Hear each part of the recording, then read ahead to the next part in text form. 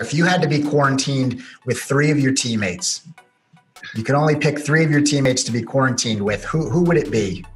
Uh, three of my teammates, I would pick uh, DJ. I would pick uh, DJ Michael Carter Williams and uh, AG. That's a good trio. Everybody everybody's picking DJ. Uh, DJ is the common thread with everybody. Why is that? DJ's hilarious. DJ's hilarious. He's always cracking jokes. Um, yeah, he's just a clown. so like, on the, uh, to, to quarantine with him. But you've got three different areas there. You've got I mean, they all bring something different to the table with those three that you mentioned. Oh, uh, what, what each one bring? Uh, AG, AG's just a cool dude. He's cool, uh, uh, chill. You know, he's he, he has his funny moments too. He's just not just not so much as DJ.